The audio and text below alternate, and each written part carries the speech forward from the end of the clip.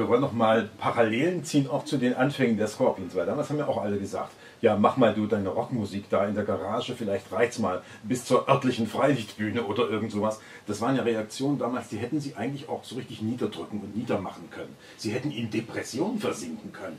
Gibt es da nicht auch manchmal so, innerische, also innere seelische Stärken, also Ergebnis vielleicht auch von Erziehung, dass es einfach von vornherein auch Menschen gibt, die nicht sich dann davon niedermachen lassen, sondern die sagen, hey, nun aber gerade. Ja, also ein großer Punkt war dabei ganz klar, dass meine Eltern waren sehr verschiedenartig, mein Vater mehr philosophisch, meine Mutter mehr eben die Beamtenfamilie.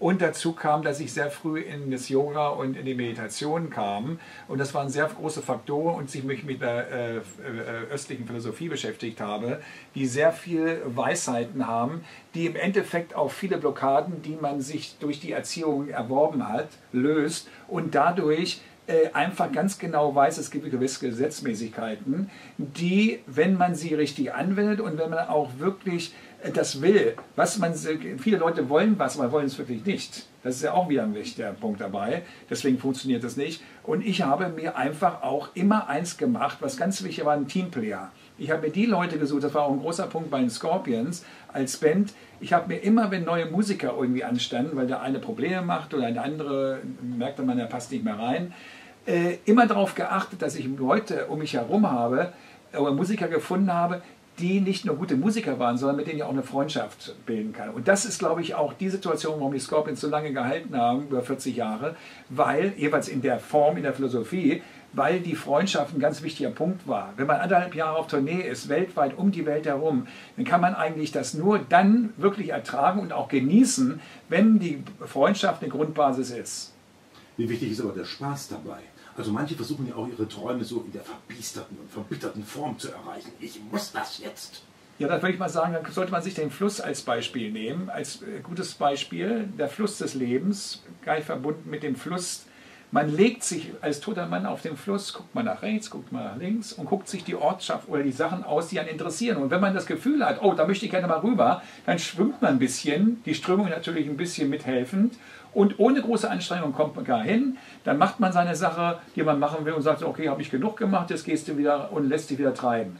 Der Punkt ist, dieser Punkt der Zentriertheit. Das heißt, eine Gitarre muss gestimmt sein, unter Spannung, klar, aber die Saiten müssen in einer Beziehung zueinander stehen, sodass das Instrument stimmt. Wenn das Instrument nicht stimmt, kann ich keine Musik machen und was dabei rauskommt, ist nur dummes Zeug.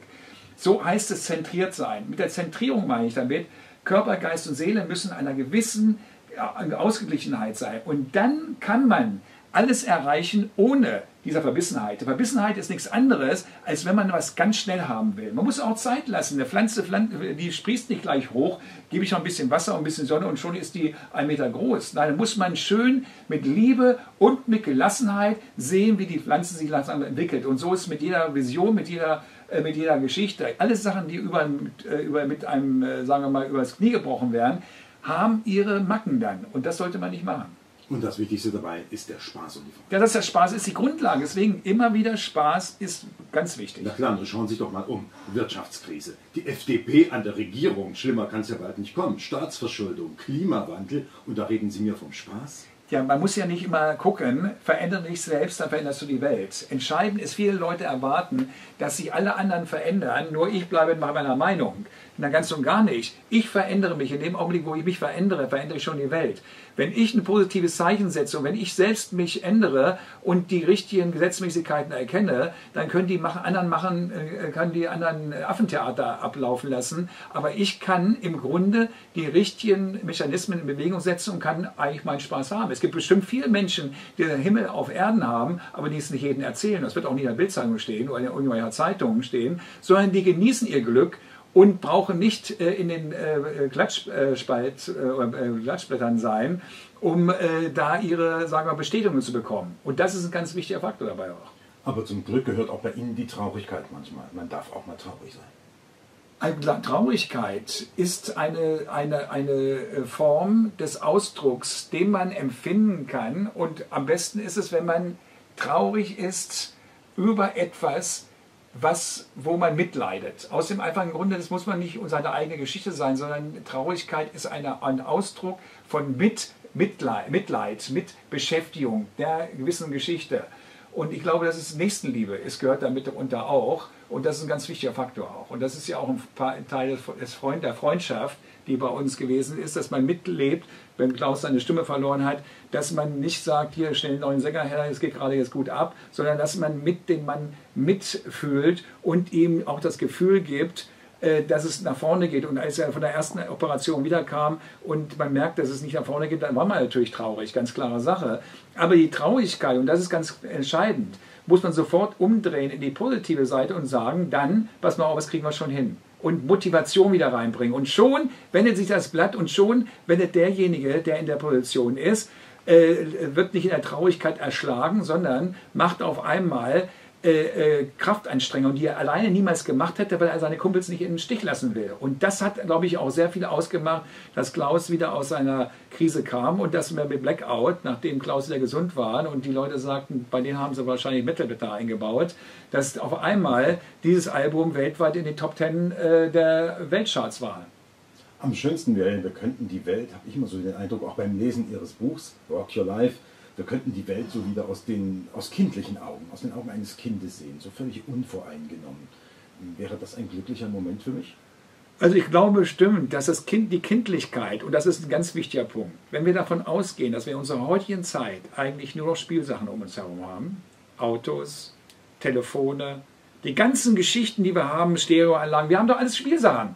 Wir sind umstellt von Spielsachen. Und jetzt machen wir als Erwachsene die, du musst erwachsen sein, damit du die Spielsachen auch richtig äh, handelst. Nein!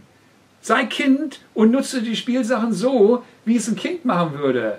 Nicht zu ernst nehmen und auch nicht zu locker nehmen, sondern im gewissen Verhältnis zu dem, wie du dazu stehst. So, und dann hast du, dann kannst du den ganzen Tag spielen und hast den Spaß. Also mit dem Hämmerchen ruhig mal rauf auf den neuen Laptop.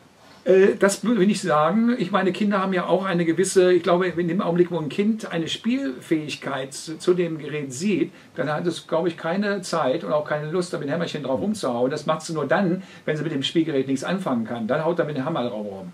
Und deswegen glaube ich immer wieder, dass diese gewisse Form der Lockerheit gegenüber dem Leben und nicht die Verkrampftheit, und ich glaube, dass die Verkrampftheit wird von unseren äh, Eltern und von unseren Schulen gegeben, du musst, du musst, du musst. Und dadurch gibt es diese Verkrampftheit. Wenn es davon geht, dass alles ja so und so kommt, dass man nicht scheitern kann, wie auch in dem Buch steht, man kann nicht scheitern. Und wenn das Kind einfach von den Eltern von vornherein gesagt bekommt, du musst jetzt laufen, du musst jetzt laufen, dann wird wahrscheinlich beim Kind eine Blockierung eintreten. Aber dadurch, dass man das Kind langsam äh, laufen lässt, auch mal hinfällt, schreit mal auf, lauft, äh, steht auf und dann beginnt das Kind ganz normal das Gefühl zu erwerben, wie fange ich an zu laufen. Und so, das ist auch Spielerei und Spielerei. So, und deswegen das Leben sollte mehr in einer spielerischen Form zu, äh, zu sehen sein.